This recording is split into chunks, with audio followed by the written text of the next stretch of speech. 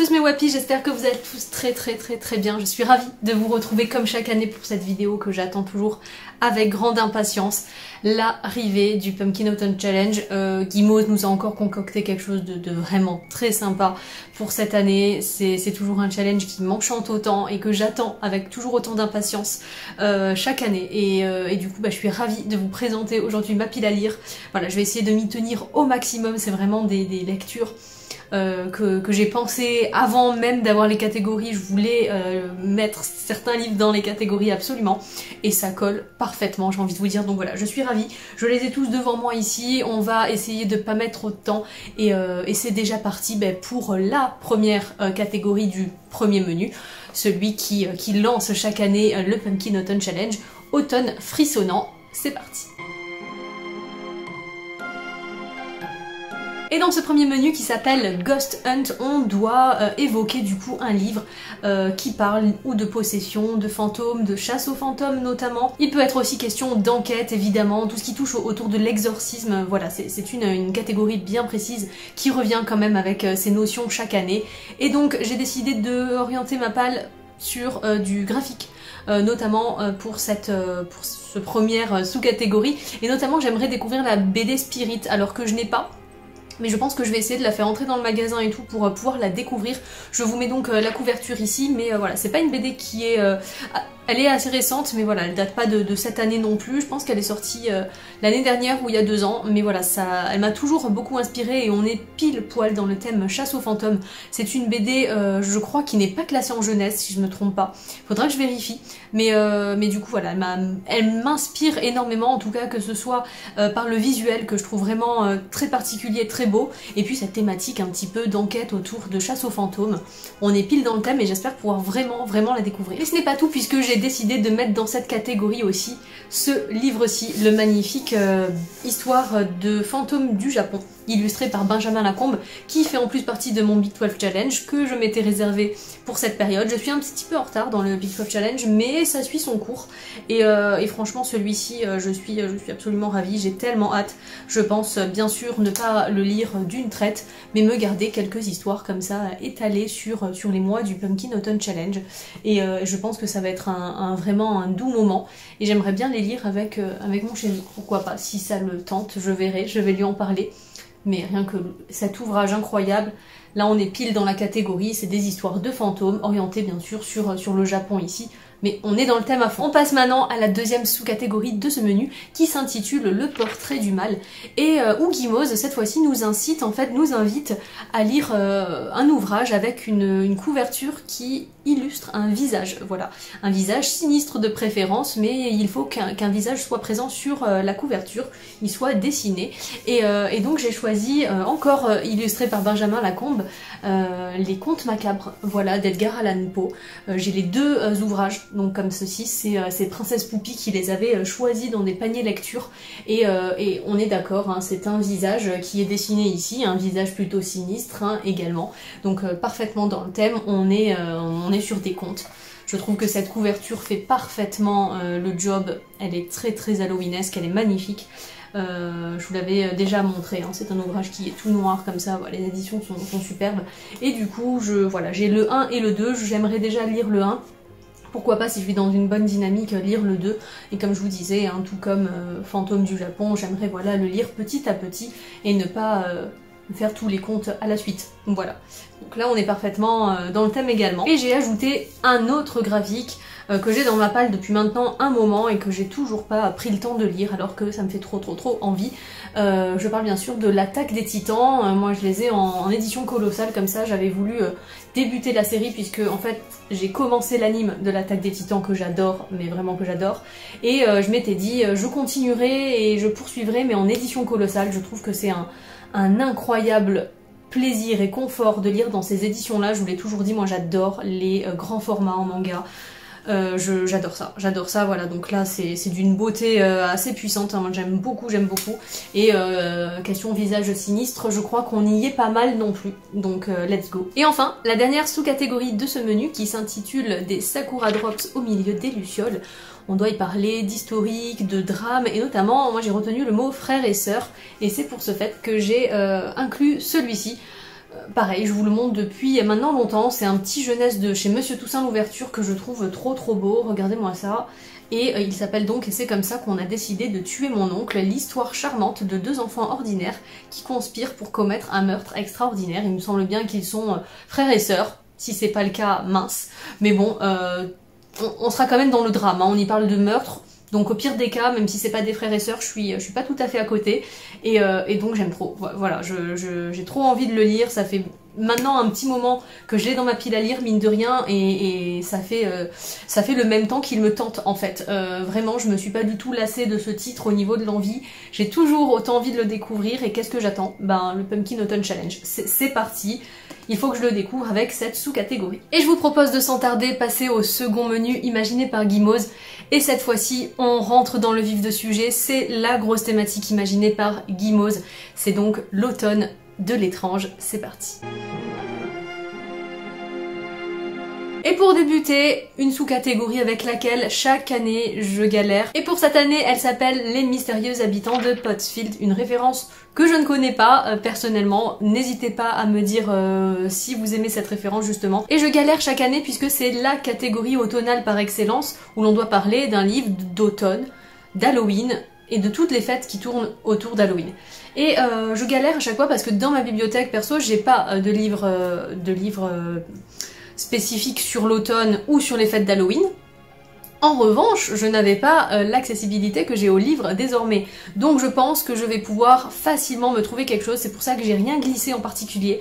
Je vais voir un petit peu ce qui rentre petit à petit dans le magasin en thème avec euh, justement l'automne, que ce soit des albums jeunesse, des petites BD, des... Je pense que je vais me régaler. Je pense pas du tout mettre de euh, romans dans cette catégorie, mais plutôt un bon concentré de graphique, vraiment, en fonction de ce qui arrive, et surtout des petits albums jeunesse autour de l'automne et tout, voilà, ce genre de choses.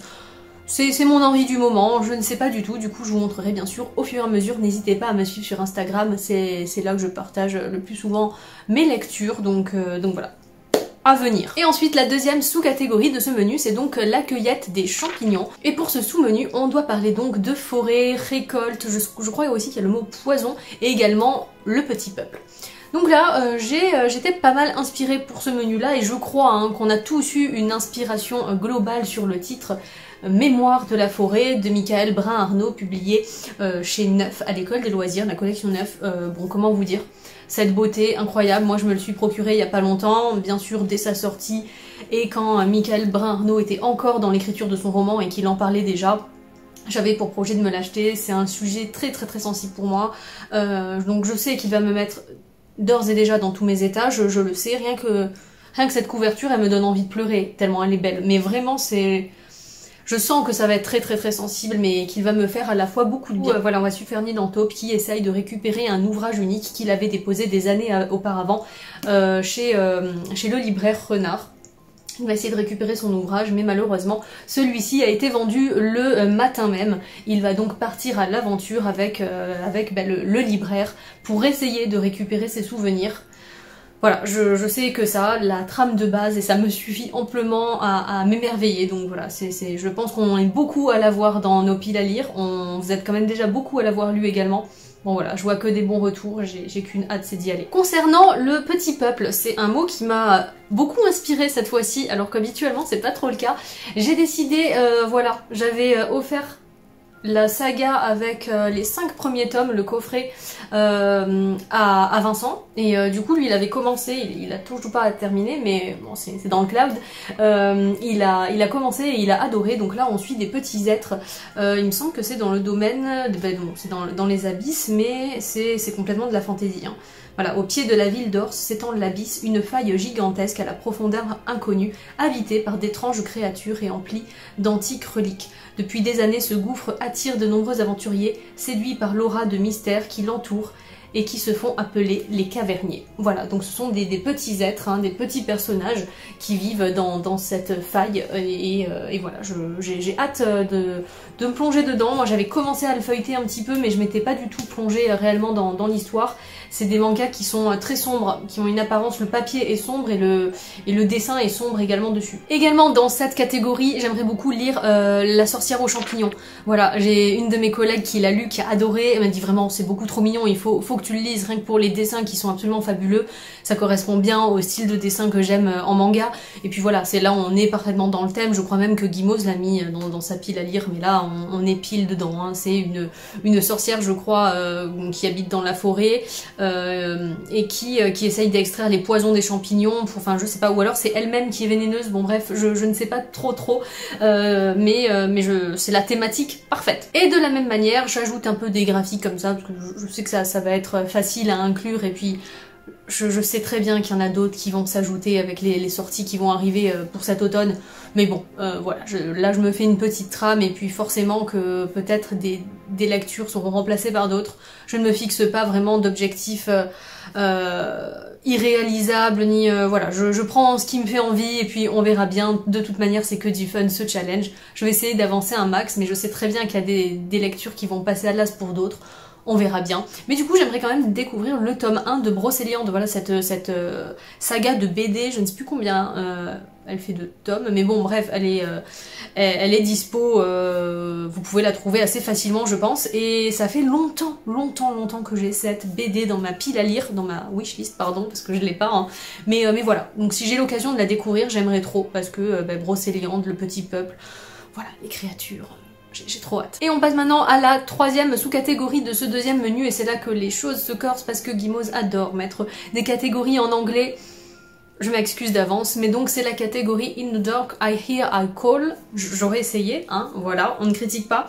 Et là on doit y parler, c'est vraiment une catégorie où il y a beaucoup, beaucoup, beaucoup de mots euh, clés. Donc euh, voilà, on est obligé de trouver euh, quelque chose qui nous convient, une lecture qui nous inspire avec tous ces mots et, et franchement je vous les mets, ils sont en bas, mais on a le choix. Hein. Voilà, que ce soit rien que le mot fantasy, on peut tout y mettre, euh, obscurité, lumière, ambivalence, voilà, il y a beaucoup beaucoup euh, de thématiques, j'adore ce, sous-menu, et j'ai décidé euh, pour ma part d'y mettre Piranèse.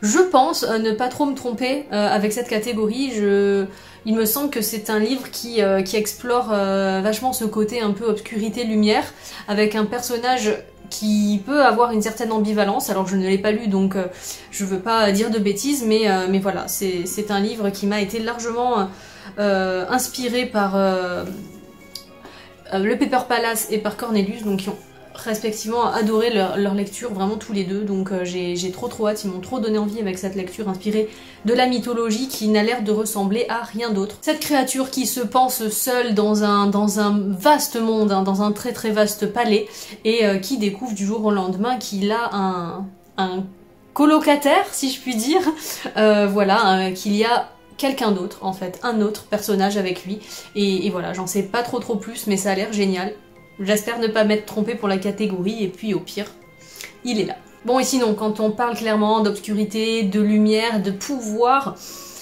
bon, c'est le Silmarillion. Voilà, moi le Seigneur des Anneaux, c'est une super référence, c'est... C'est une lecture qui m'a profondément marquée, j'ai adoré ma lecture du Seigneur des Anneaux et pourtant je l'ai faite assez jeune. Euh, je, compte pas le relire, clairement, je compte pas le relire parce que j'en ai, euh, un souvenir qui est impérissable en fait. Et, euh, même si j'ai plus tous les détails en tête forcément, euh, j'ai préféré, je fais partie des gens qui ont préféré l'œuvre film, en fait, l'œuvre cinématographique à, à, l'original de Tolkien, hein, au livre. Mais j'ai adoré le livre. voilà, bon pour moi, l'œuvre cinématographique de, de Peter Jackson, elle surclasse tout. C'est c'est mon film préféré à tout jamais. Mais cela dit, j'ai jamais lu le Silmarillion. Euh, Bilbo, le Hobbit est un de mes livres préférés. Voilà, j'ai encore plus aimé que Le Seigneur des Anneaux, j'adore ce, livre. Euh, mais j'ai jamais lu le Silmarillion que l'on a dans cette version absolument magnifique avec mon Bmax, on se l'était euh, offert, je ne sais plus trop à quelle occasion, mais ça fait longtemps maintenant qu'on l'a et il est illustré. Il est illustré, voilà, il y a ce genre d'illustration là.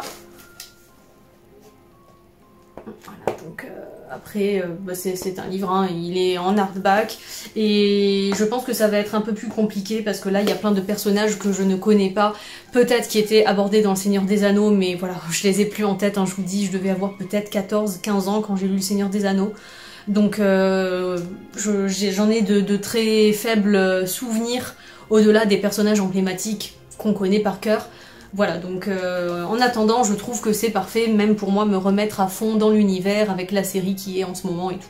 Voilà, le Silmarillion, si j'ai la foi, évidemment, c'est pas des lectures très très simples, euh, même si euh, ça reste abordable quand on connaît bien l'univers de Tolkien, mais c'est quand même très délicat à, lire, hein, j'en suis consciente. C'est pas, pas une lecture de tout repos, c'est pas une lecture facile, c'est beaucoup beaucoup d'informations à enregistrer et tout, donc on verra si je me sens, euh, mais j'aimerais, vraiment j'aimerais, ne serait-ce que pour compléter un petit peu ce que j'ai déjà lu de, de Tolkien, et puis et puis voilà, pour, euh, pour me replonger à fond dans, cet univers que j'aime quand même énormément. Ok, et on termine donc avec la dernière sous-catégorie de ce deuxième menu. Je vous la lis parce que je n'arrive absolument pas à la retenir. C'est donc soit vent, rêve, cendre et néant, soit nuit, noir, âme et souhait. Ça me donne trop envie, c'est une citation issue euh, d'un des livres préférés de Guy Mose, L'étrange vie de Nobody Owens et vous le voyez venir. Elle nous propose ici de parler de contes, de gothique, de macabre, de euh, sorcières, on peut aussi parler de, disparition ou ce, genre euh, de thématique là, mais vous le voyez venir, gros comme une maison. Évidemment, j'ai choisi de découvrir l'œuvre de Neil Gaiman, euh, donc l'étrange vie de Nobody Owens, qui a inspiré euh, le, cette sous-catégorie Agimos, voilà, et qui fait partie de l'ambiance principale imaginée pour ce Pumpkin Autumn Challenge. Voilà, je, je ne connaissais pas du tout, en fait, à vrai dire, et quand elle en a parlé, mais ça m'a tellement, tellement donné envie, je me suis dit, mon dieu, il faut que je me le procure absolument. Et comme par hasard, il était dans, le magasin, et il était défectueux. Vous voyez, en fait, il est tout abîmé et tout, il est tout, tout déchiré en bas. Bon, vous verrez pas. Et il est, euh, il est mal coupé, en fait. Il est mal coupé en haut, il y a plus d'espace qui... Bon, bref, c'est un livre raté. Il est coupé et on, on, va le renvoyer en défectueux, en fait. Mais avant de le renvoyer en défectueux, je vais quand même le lire, puisque j'imagine que euh, euh, le texte est... en tout cas, la pagination est correcte. C'est juste qu'il est très mal coupé et déchiré complètement en bas. Il est poncé, donc il est, il est pas vendable. Donc voilà, je vais le lire et puis je le rendrai euh, forcément hein, pour, pour l'envoyer en défectueux, évidemment. Mais, euh, mais voilà, du coup je, suis trop contente, ça va me permettre de découvrir, je pense, ce grand classique euh, de, je dirais, des lectures automnales et de ces ambiances un peu Tim Burtonesques. elle a énoncé, Guimauze, que personne d'autre que, Tim Burton pourrait adapter ce, livre-ci par exemple. Donc voilà, moi qui adore ce genre d'ambiance, je pense que ça peut me plaire et ça va en plus me permettre de découvrir Neil Gaiman dont j'entends parler depuis longtemps et j'ai d'ailleurs Stardust dans ma pile, euh, dans ma wishlist je dirais euh, depuis longtemps maintenant, c'était celui qui m'attirait le plus. Mais c'était sans compter sur celui-ci. Donc euh, voilà, j'ai trop trop hâte, vraiment, ça c'est...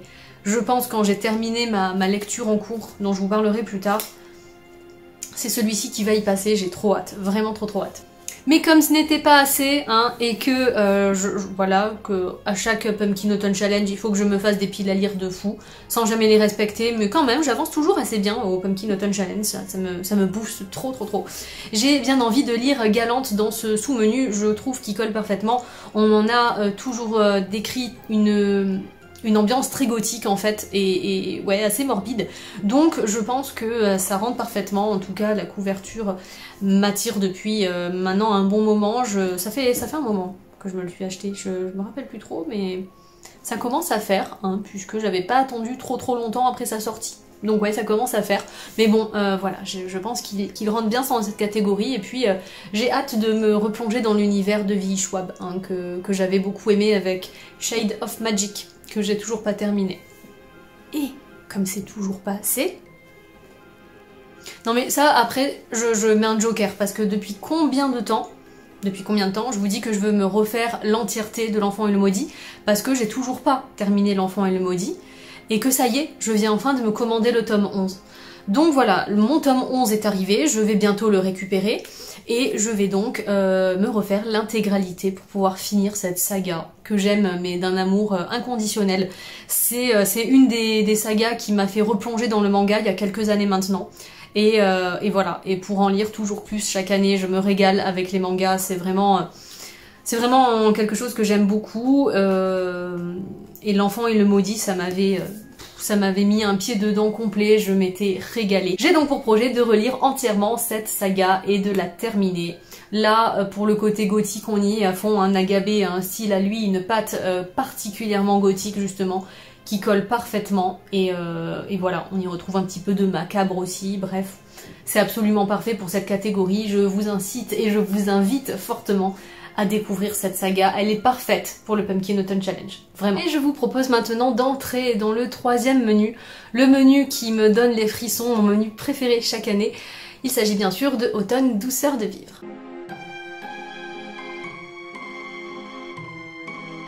Et dans la première sous-catégorie intitulée Deux citrouilles valent mieux nous propose de euh, commencer, terminer, en tout cas avancer une duologie. Alors je crois pas avoir de duologie en cours, en tout cas euh, je, vais, euh, je vais poursuivre la saga de Lightfall. Ce qui fait que ça c'est le deuxième. J'ai lu le premier, donc je vais, je vais continuer Lightfall. Je vous en ai déjà parlé de nombreuses fois. Lightfall, euh, le premier du nom, a été un énorme coup de cœur. Ça a été ma BD euh, favorite de l'année dernière. Donc je compte bien me faire un, soir cocooning accompagné de Lightfall, euh, L'ombre de l'oiseau, de Tim Probert et aux éditions Gallimard, bande dessinée. Du coup, je, suis complètement fan. rien que cette couverture, elle est incroyable. Ça colle parfaitement à l'ambiance automnale. Il y a des planches de couleurs, de ces c'est brillant, c'est brillant à tout niveau, que ce soit au niveau de l'histoire comme euh, pour les yeux, c'est un délice incroyable et incommensurable, vraiment. Donc voilà, ça j'ai qu'une hâte et je pense que du coup c'est quand même dans la thématique puisque on est sur deux tomes pour le moment. Je pense qu'il y aura euh, peut-être une suite, j'en suis même quasiment sûre, je, je le sens pas arrêter comme ça, en si bon, si bon chemin. Mais, euh, mais du coup, pour le moment, ça fait une biologie. Donc voilà, je, je, ça marche. Oh, ça marche, écoutez, on filoute, on filoute, comme elle a dit Guimauze. Hein. Mais quel bonheur. Oh là là, quel bonheur cette saga. J'ai trop hâte de lire la suite, vraiment. Et du coup, et pour filouter jusqu'au bout, euh, je euh, j'aimerais, j'aimerais terminer la trilogie de Lady Hélène. Oui, bon, c'est pas une duologie, mais peu importe, voilà. Je pense que le but de la catégorie était d'avancer nos sagas en cours, hein, en quelque sorte. Et de la même manière, dans cette sous-catégorie, j'aimerais trop lire, euh, enfin en fait me replonger dans l'univers de l'atelier des sorciers, un manga euh, pareil que j'aime beaucoup et je me suis arrêtée au tome 4 je crois, 4 ou 5 donc voilà, euh, là il y a le tome 10 qui vient de sortir. J'ai un peu de marge, je dis pas que je lirai tout euh, cet automne mais pourquoi pas, hein, pourquoi pas au final, hein, ça, se lit très rapidement. Donc pareil, j'ai trop hâte de, me replonger dans cet univers que j'aime beaucoup. Et, et en plus ça correspond puisqu'il y a le mot magie je crois. Oui, c'est ça, il y a bien le mot magie dans la sous-catégorie, donc bon, l'atelier des sorciers, c'est vraiment une forme de magie qui est décrite et déployée dans, cet univers, donc c'est parfait. Allez, c'est parti, mon téléphone ne fait que tomber, j'ai une installation assez bancale, mais j'espère que ça sera quand même assez agréable, je dirais.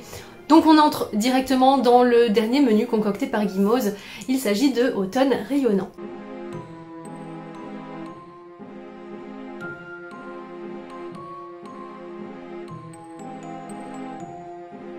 Allez, on commence par la première sous-catégorie, We All Born Naked and Rest is Drag, donc en référence à The Drag Race, donc de RuPaul, euh, que j'adore, j'adore, j'adore. Je suis pas à jour et j'ai pas vu la version française.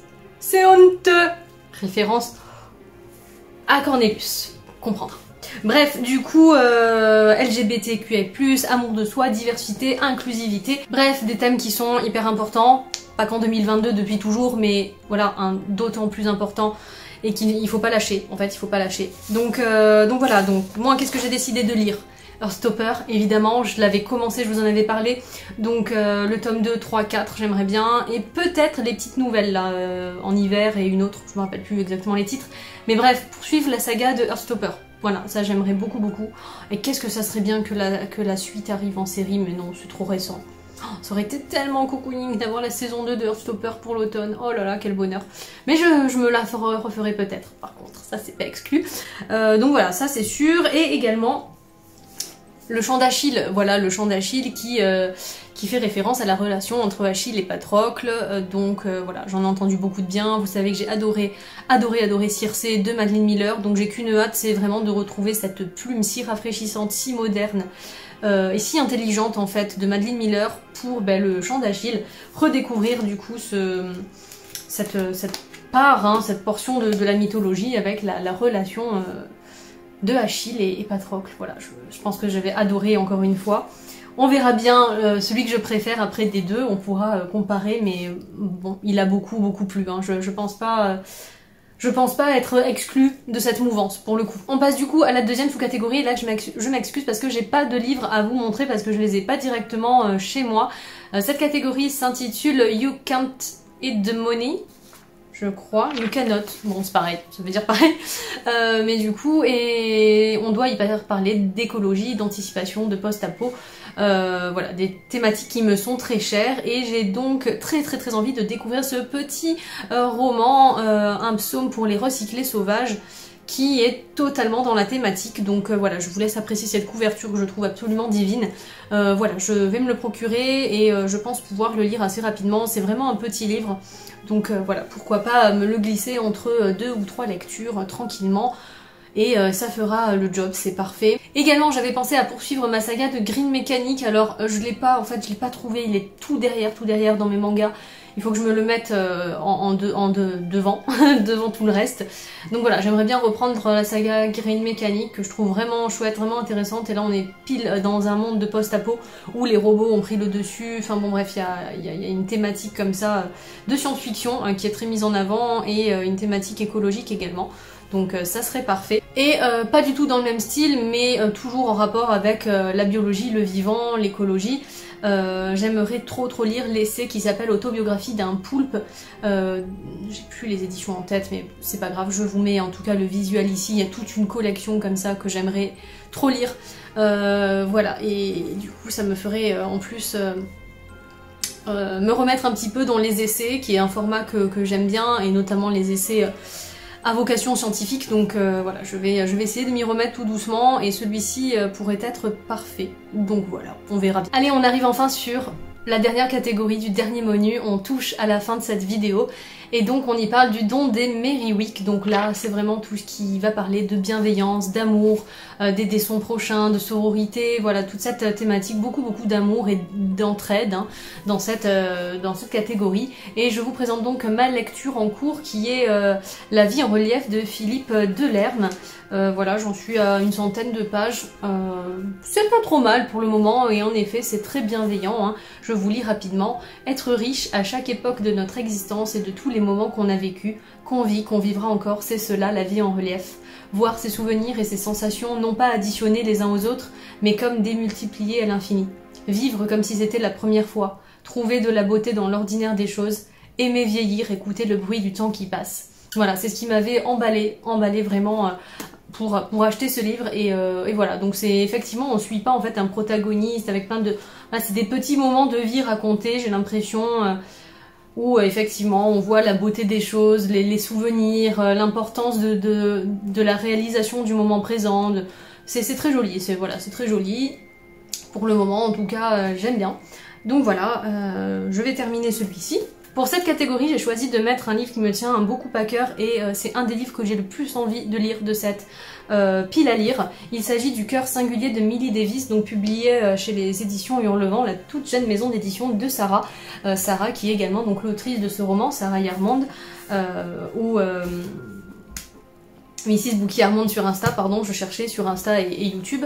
et voilà que j'avais commencé dans un premier temps au format numérique et c'était, euh, vous voyez la, taille, bref, je pouvais pas le mettre sur ma liseuse, c'était très pénible pour moi à lire euh, avec, euh, avec la luminosité des tablettes, ça me fatigue énormément les yeux, donc quel bonheur euh, je vais avoir de replonger et de retrouver Millie Davis. Euh, pourquoi je l'ai mis dans cette catégorie? Parce qu'il rentrait totalement aussi dans l'autre catégorie, je me rappelle plus, euh, qui parlait d'historique, mais je voulais pas du tout le mettre dans Automne frissonnant parce que je trouve que ça correspondait pas trop. Je le vois beaucoup plus dans Automne rayonnant, dans, avec un, livre qui fait du bien, qui fait du bien à l'âme, où on va forcément y parler de sororité, avec des personnages qui vont s'entraider et qui vont renouer des liens, qui voilà des, des personnes qui vont pouvoir élever d'autres à la réalisation de leurs projets. Enfin, j'ai trop hâte, j'ai trop trop hâte. Et Sarah est une personne aussi très éveillée, donc j'imagine que au niveau de tout ce qui est diversité, inclusivité et tout, ça match totalement. Donc ce qui fait que, à mon avis, ce livre est parfait pour la catégorie et le menu euh, automne rayonnant de manière générale. Je pense que euh, voilà, ce livre correspond bien à l'état d'esprit du menu. Et voilà, je pourrais aussi le mettre dans, Automne douceur de, dans Automne douceur de vivre, pardon, euh, et il va très bien bah, aussi dans Automne frissonnant parce que on y parle d'historique, effectivement, bref. Il va dans plein de catégories et j'ai hâte vraiment, c'est un de ceux qui me fait le plus envie comme je vous disais, donc... Euh, voilà, trop trop trop envie euh, d'y aller et euh, bon bah comme tous les, livres hein, mais celui-ci vraiment je vais le mettre sur le dessus de ma pile, vous voyez. Et enfin moi quand on me dit bienveillance, amour, aider son prochain, guérison, sororité, je pense également à cette saga. Euh, Aria The Masterpiece, une de mes sagas euh, de manga préférées, je vous en ai souvent parlé, je suis en train de lire l'avant-dernier, et donc là ça c'est le dernier que je vous montre, j'espère pouvoir terminer la saga de Aria cette année avec le Pumpkin Autumn Challenge, ça serait vraiment trop beau, ça serait un petit pincement au cœur en même temps, mais une telle satisfaction également de pouvoir voir ma saga au complet dans la mangatech et voilà de me dire ben elle est là, c'est bon, j'ai tout lu. Euh, et de garder ces personnages avec moi longtemps, cette histoire, cet univers, cette ambiance euh, qui, me, fait particulièrement du bien, je dois vous avouer. Donc, euh, voilà, c'est une finalité hein, pour, pour la fin de cette vidéo et voilà j'espère que ça vous aura plu j'ai tellement hâte de pouvoir me plonger dans toutes ces lectures vraiment ça va être un bonheur je vous dis hein, c'est Fort possible que je ne lise pas tout ça, mais c'est quasiment sûr. Sachant que voilà, d'autres choses vont venir se greffer. J'ai repéré la petite série Insomniac, dont je me rappelle Alex Bouquin Prada avait parlé avec beaucoup beaucoup d'entrain. Euh, voilà, je l'ai repéré dans le magasin et voilà ça me titille donc pareil je vais l'emprunter je vais la lire ça va s'inclure euh, dans le dans les Pumpkin Autumn Challenge je lui trouverai sa petite place voilà et ça va être euh, je pense le cas pour beaucoup d'ouvrages graphiques surtout parce que c'est vrai que Là, niveau livre, je pense que je suis plutôt pas mal en niveau roman, hein, surtout qu'il y, a des belles briques. Donc je vais peut-être me calmer, mais j'ai trop hâte. Franchement, j'ai trop hâte. J'aimerais aussi, par, exemple, euh, remettre Zephyr euh, en Alabama, Zephyr Alabama, que j'ai toujours pas terminé parce que je l'avais euh, mis de côté pour Blackwater et, et, depuis Blackwater je galère. Mais en fait, pourquoi j'ai pas repris Zephyr Alabama?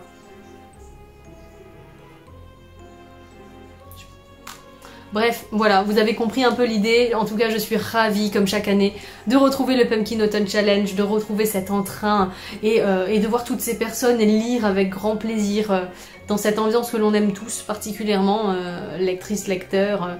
voilà, c'est particulier, hein, c'est vraiment particulier comme ambiance quand on, quand on aime ça et ah, je suis contente. Voilà, bah écoutez, je vous fais de gros bisous à tous. J'espère que, euh, vos piles à lire sont bien remplies et euh, que vous aurez pu peut-être, mine de rien, piocher quelques petites idées dans cette, dans cette vidéo. Et c'est sur cette dynamique que je vous dis à tous de garder bien en tête que les passions n'ont pas d'âge, alors vivez-les à fond, quoi qu'on puisse vous en dire. Et puis, je vous fais des bisous. Ciao tout le monde